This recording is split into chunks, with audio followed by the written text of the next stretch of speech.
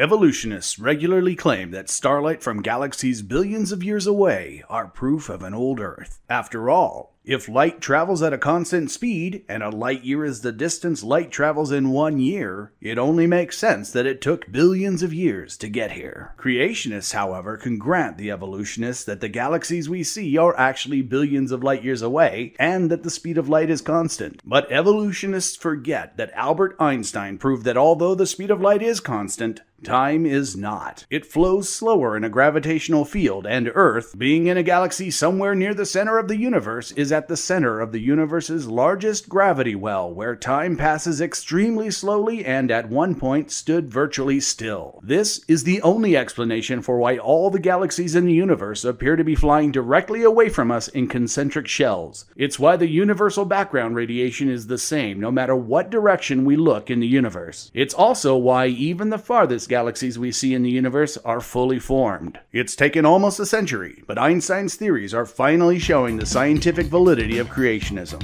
So why do these scientists just ignore this proof? I had to investigate.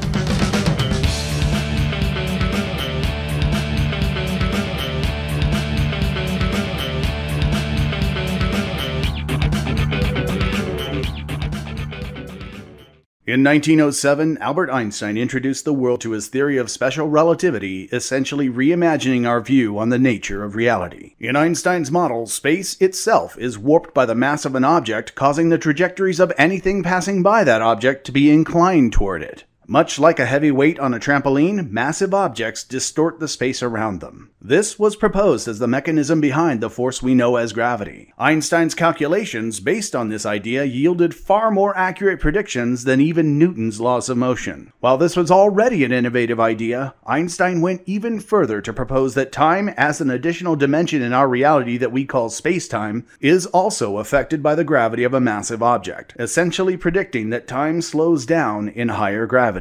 While this explains the erratic orbit of Mercury and has been confirmed by the use of atomic clocks in aircraft, the application of this prediction is particularly important in satellite communication. As you watch this episode, at least one satellite is compensating for this time differential just to bring you this video.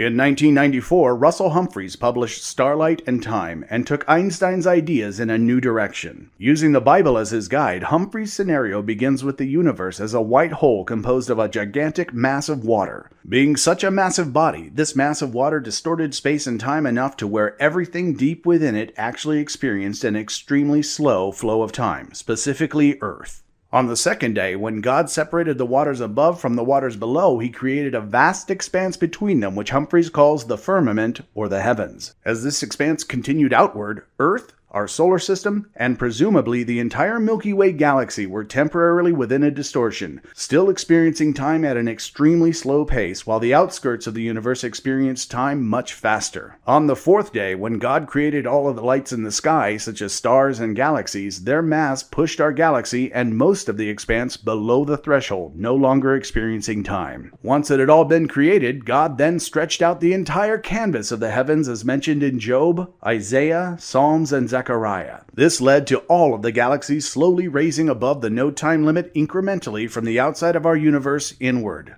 Because of time dilation, millions or even billions of years had passed throughout the universe, but only four days had passed in the gravitational well on Earth. Humphreys claims that this is why we see distant starlight from billions of light years away on an Earth that is only around 6,000 years old. This is the scenario that Humphreys presents and claims is 100% consistent with Einstein's theories of relativity. However, there are some discrepancies from the very beginning. Like a black hole, at the center of a white hole is a singularity, where matter and energy is so compressed that it no longer has any definable dimensions. The only difference is the directional flow of time. Time flows in the direction we call forward toward a black hole, while it flows backward from a white hole. If there were a large mass of water, which Humphreys predicts to have been two light years across, it would gravitationally collapse into a singularity and cease to be water. It would cease to be hydrogen or oxygen. It would even cease to be protons, neutrons, or electrons. This would require the first miracle in Humphreys' scenario to be new physics to prevent this collapse into subatomic particles. There are further complications due to his calculation of this initial state being a black or white hole two light years across. Without going into the mathematics, considering that the mass of the observable universe is 1.5 times 10 to the 53rd kilograms, using the Schwarzschild metric derived from Einstein's field equations, we should actually expect a white hole within an event horizon of 4.7 billion light years across. This is not only larger than our entire galaxy, or our local group of galaxies, or the entire Virgo supercluster our local group is in, or the Pisces Cetus supercluster, which the Virgo supercluster is in, or even the proposed Laniakea supercluster, which the Pisces Cetus is theorized to be within. In addition to this, according to Humphreys' model, we should actually see events such as supernovae occurring millions of times faster in the most distant galaxies we can observe. In fact, this should only take roughly 17 seconds in the furthest galaxies we see. What we actually see is that there is in fact a time dilation due to these galactic velocities, but it appears to show that time flows slower in these further galaxies. For example, supernova eruptions take six weeks to go from normal to maximum light, then six and a half months to fade. In the furthest galaxies, supernovas brighten and fade about 25% slower, taking up to nine weeks to brighten and even longer than nine months to fade. Also in Humphreys' scenario, light from that distance should be blue shifted since its frequency would be faster and its wavelength should be shortening as 13.7 billion years worth of light arrive in only 6,000 years. As I've covered in several episodes, in 1929, Edwin Hubble formulated Hubble's law based on observation that in fact, the further away a galaxy is, the more it is redshifted. In Humphreys' model, light from the furthest galaxies should be blue shifted over 833 billion times, far past the gamma range, which would raise Earth's temperature by thousands of kelvins. So direct observation shows that Humphreys' model is fundamentally flawed. The initial problem is that Humphreys' calculation for gravitational time dilation is far greater than Einstein's equations predict. Humphreys also abuses the trampoline model, which is merely an allegory to illustrate how mass affects the space around it. It is not meant as a literal model. Another argument Humphrey supporters state is that the universal background radiation is the same no matter what direction we look in the universe. While it certainly does persist in every direction, maps of this radiation demonstrate conclusively that it is anything but uniform in intensity. Throughout history, various creation models have consistently attempted to put Earth at the center of the universe. Galileo Galilei was even placed under house arrest for opposing the Church's assumption that Earth was the center of the solar system. Humphreys' model